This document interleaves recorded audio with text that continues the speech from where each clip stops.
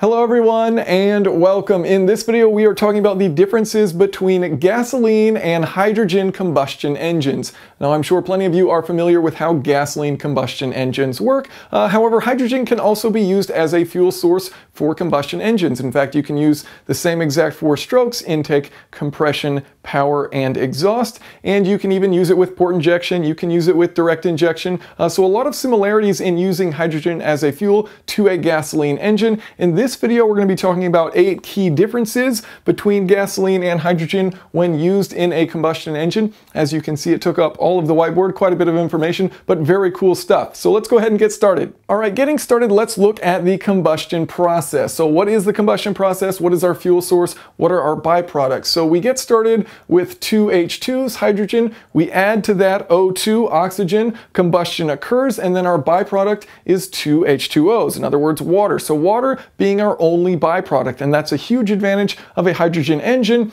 in that its only emissions are going to be water. Perfect, clean. You still get the noise of combustion engines, the fun of combustion engines without the negative side of those poor emissions. But wait, not so fast. Unfortunately, with this combustion occurring and the heat uh, resulting from that combustion, your actual reaction is going to be something like H2 plus O2 plus N2, nitrogen, leading to H2O and NOx. So these NOx emissions, unfortunately, are going to be the harmful emissions created from a hydrogen combustion engine. In theory, you know, you could have this perfect uh, only H2O uh, combustion occurring, but unfortunately, because the temperatures get hot enough, the nitrogen and the oxygen will react and form uh, nitrogen oxides. So on the other hand, gasoline combustion engines, you start with a hydrocarbon, so C number, H number. So, you know, for like octane, it may be C8, H18. Uh, you're going to add to that oxygen and nitrogen, and then your combustion byproducts are going to be CO2, H2O, and your nitrogen oxides. So the benefit of the hydrogen engine here is that we are eliminating uh, those carbon emissions. So we're not taking, you know, carbon from underneath the ground, putting it into an engine and then dispersing it into the air. There's no carbon introduced in this equation. Uh, unfortunately, you do still have those nitrogen oxide emissions. Next, let's talk about air-fuel ratios because this is where hydrogen actually has a pretty big advantage because it has a very wide range of air-fuel ratios where combustion can still occur. So it's stoichiometric ratio, meaning the ratio in which you burn all of the hydrogen in the cylinder and you burn all of the air in the cylinder, all of the oxygen, is 34 to 1. That is by mass. For a gasoline engine, it's about 14.7 to 1. And so the advantage here with hydrogen is that you can burn at an air-fuel ratio as high as 180 to 1. So a very, very lean air fuel ratio there uh, versus in gasoline engines, the leanest I've ever seen is actually in the Mazda's Skyactiv X engine, uh, and they're using some pockets of that uh, gasoline mixture at about 37 to 1, and that's using compression ignition spark uh, controlled compression ignition to do that. So that's the highest in gasoline. Honestly, you generally won't see much higher than about 18 to 1 uh, air fuel ratio, and here with hydrogen, you're seeing as high as 180 to 1 air fuel ratio. So what are the advantages of this?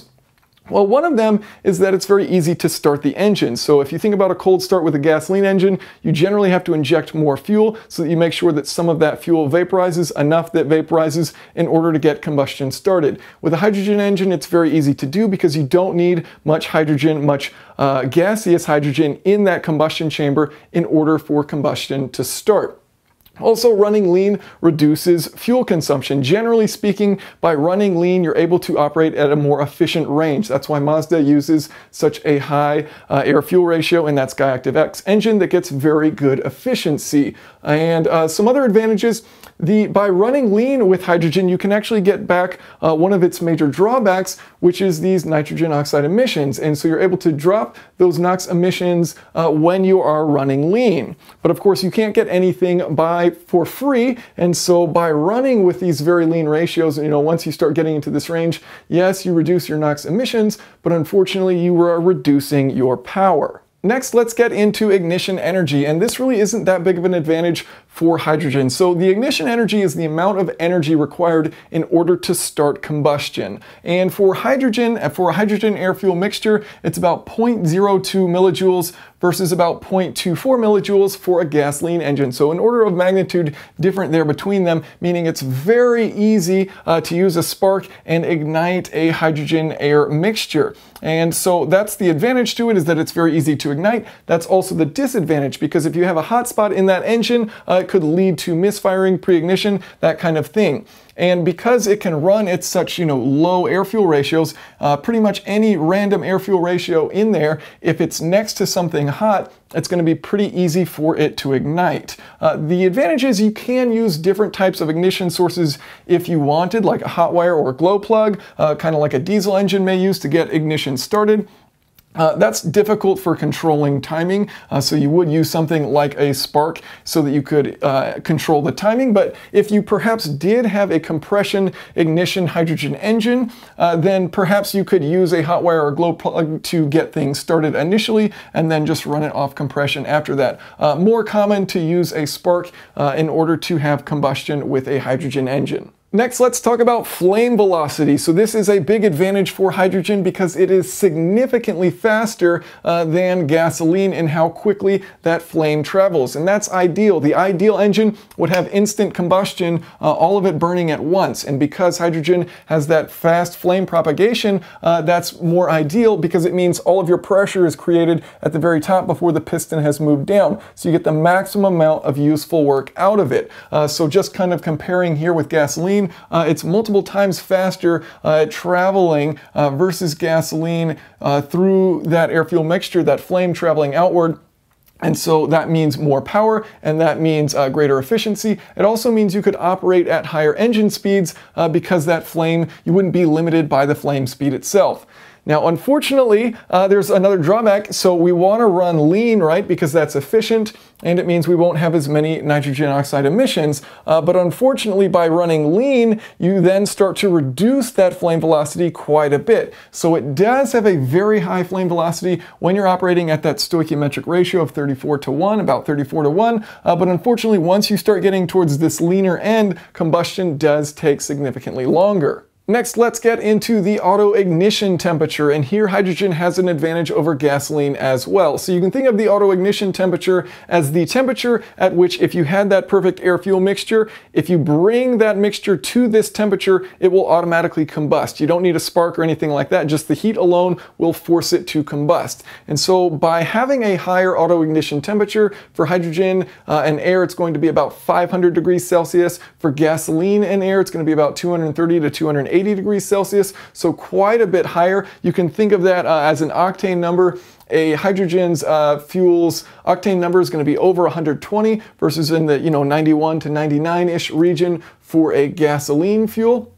And so what this means is if you were to look at, you know, how much could you compress this air fuel mixture before it ignited, you could compress that hydrogen and air mixture more than a gasoline engine. And that means you can use a higher compression ratio. So by using a higher compression ratio, you make more power and you are more efficient. It also means you can advance timing more, you have more flexibility with timing with hydrogen fuels and it means it will be more resistant to knock because of that high octane number. Now remember, this trait of it does mean it's less likely to have knock or pre-ignition occur, uh, but there are other traits about it that do mean that, you know, knock could be a problem. For example, the ignition energy. So, you know, a, hot spot could cause a misfire because it only requires a very small amount of energy, even though it has a low auto ignition temperature. So there are pros and cons here. Uh, good on an auto ignition temperature side, not necessarily great from an ignition ignition energy side uh, because a very small hotspot could cause combustion to occur. Our next point is diffusivity. So what this means is how quickly after you inject that fuel does it spread out and create a nice uniform mixture within that combustion chamber. And this is a big advantage for hydrogen because it has a very high diffusivity.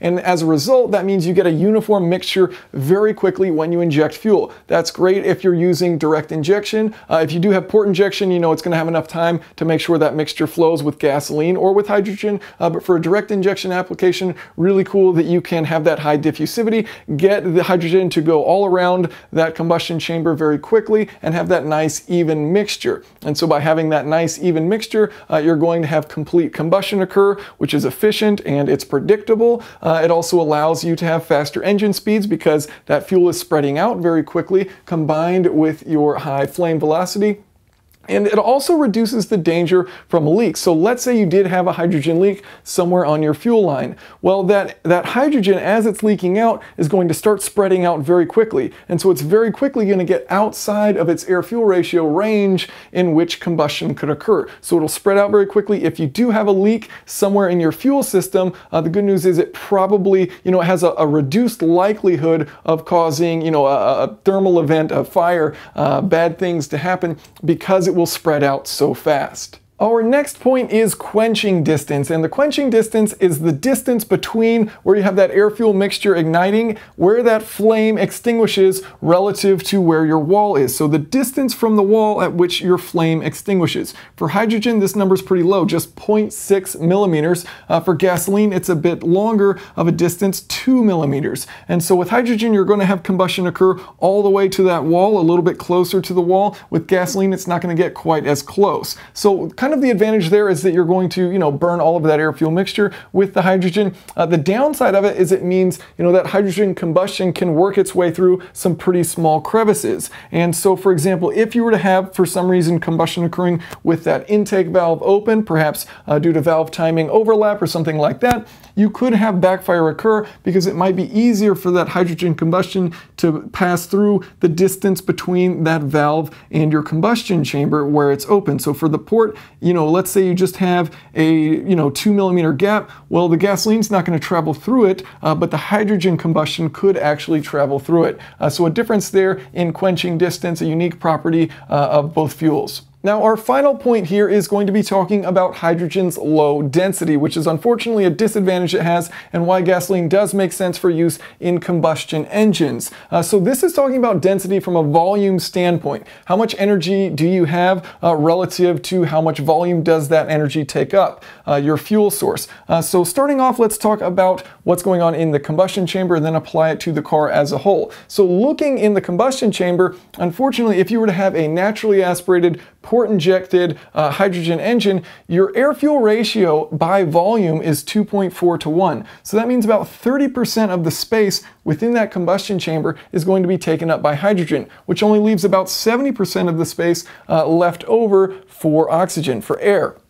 Now in a gasoline engine, you're only going to take up about 1 to 2% of the space in that uh, combustion chamber, and about 98% of that space can be used as air, which means you've got significantly more oxygen in there, which means you can burn more fuel, which means you can make more power. Uh, so relative to the size, you can make more power there, uh, assuming you're running a naturally aspirated port injected engine. Now you can of course use a high pressure direct injection, inject, uh, force more hydrogen into that scenario so you do use more air and thus make more power. Uh, but just, just looking at it from a naturally aspirated standpoint, you're generally going to be making less power uh, combining that with port injection. Uh, and that's as a result of having to take up so much space for hydrogen rather than air itself. Now, hydrogen does have an advantage relative to its weight, and so that's why it's used in rockets. Hydrogen as a fuel is one of the best as far as energy to weight. It's not one of the best as far as energy to volume. So if you think about a rocket, it can be gigantic. If it doesn't weigh much like hydrogen fuel, it's not all that heavy, but it has a ton of energy in it, then it's great for sending that rocket out into space. Obviously, you want to minimize weight